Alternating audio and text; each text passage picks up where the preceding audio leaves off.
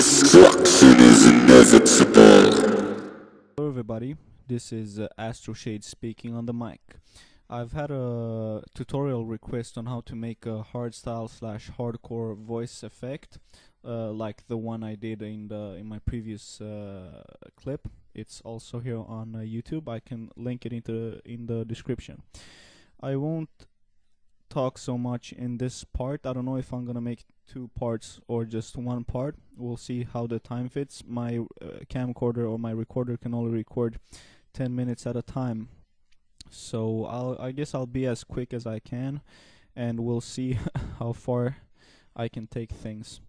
Uh, alright, so here we go. Um, first, what you want to do uh, is you want to take a sample that you yourself have uh, like it, it, can be actually any sample it can be of yourself or anyone else. It, this is my own voice and uh, you have to work a bit on how you pronounce things you know so that you can't you can't just say uh, hello my name is uh, astro shade and then expect it to sound really hardcore and terrifying. You actually have to uh, be pretty uh, you know, when you pronounce things, you should be like, uh, I don't know, uh, auto destruct sequence has been initiated. You know, that's the way I did it when I uh, when I recorded my auto destruct sequence has been initiated, and uh, yeah, I, I thought it sounded pretty good.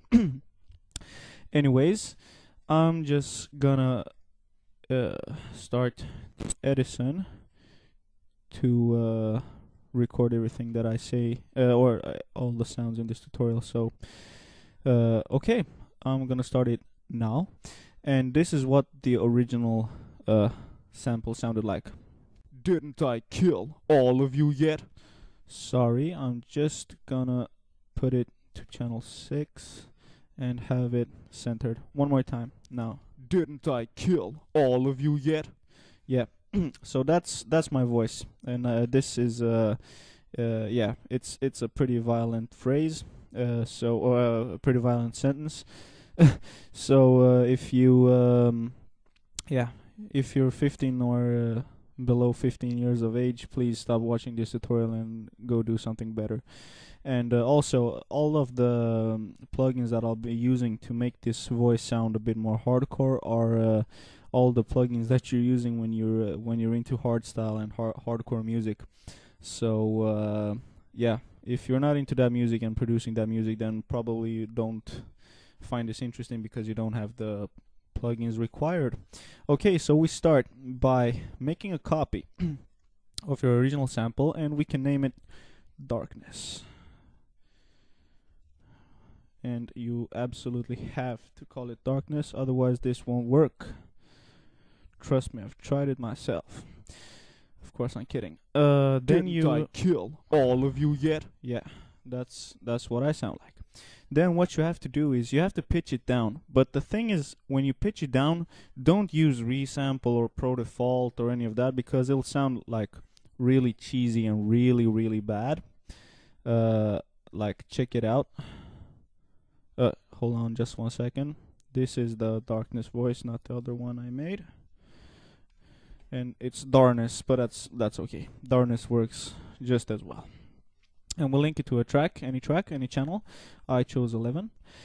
And uh, yeah, well, let's let's listen to it once when I how, how it sounds normal one more time. Uh, didn't I kill all of you yet? Yeah, didn't so that, I kill? Yeah, so that's what it sounds like, right? But if I pitch it down, just using Pro Default, it'll sound really weird. J- just listen to it. It'll sound like a like a cheesy uh, demon guy from some '90s movie. Check it. Didn't I? What the? F- Wrong one. Sorry. One more time. Didn't I kill all of you yet?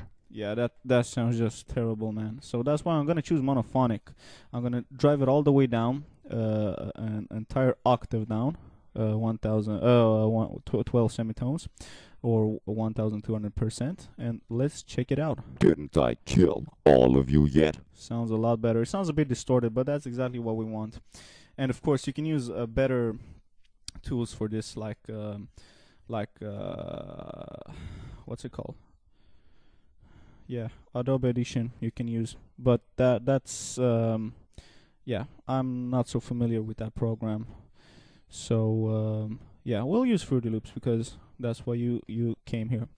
Uh, so anyway, hold on just one second. Just had to check the time on my recording. Five minutes left, so I guess this is gonna be a two-part tutorial. Uh, yeah, so we've pitched this down all the way down, right? So that it sounds like this. Didn't I kill all of you yet? I'm just gonna make it a bit more. Um, I'm gonna drag it out like like slow it down a bit.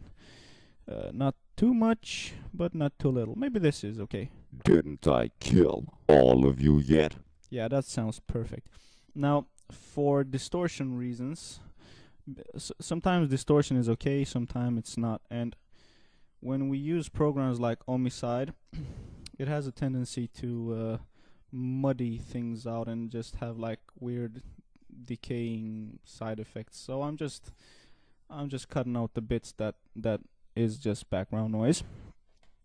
Now I'm I'm going to add a compressor to this uh, particular sound to make it a bit more uh, yeah you know you know what what a compressor is I hope Didn't I? so I checked that it's at about maybe 8 9 decibels so I'm gonna drag it a bit under maybe 12 ratio basic ratio 2 to 1 gain maybe 5 or something Kill all of you yet? sounds pretty okay Didn't I kill all of you yet? Didn't I kill all of you yet? Didn't I kill all of you yet?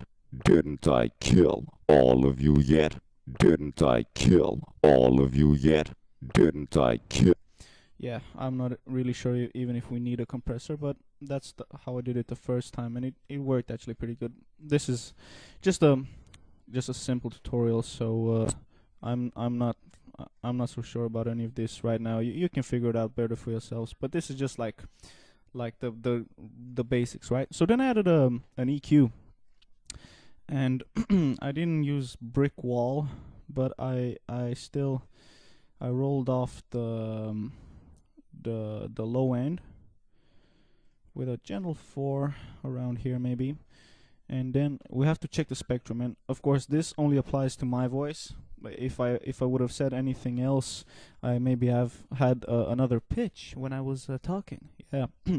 So then that decides how you should uh, how you know what what kind of knobs and uh, stuff you should tweak in the in the EQ but let's just check the spectrum, view the spectrum, and listen to it and see what sounds best. Didn't I kill all of you yet? Didn't I kill all of you yet? Didn't I kill all of you yet?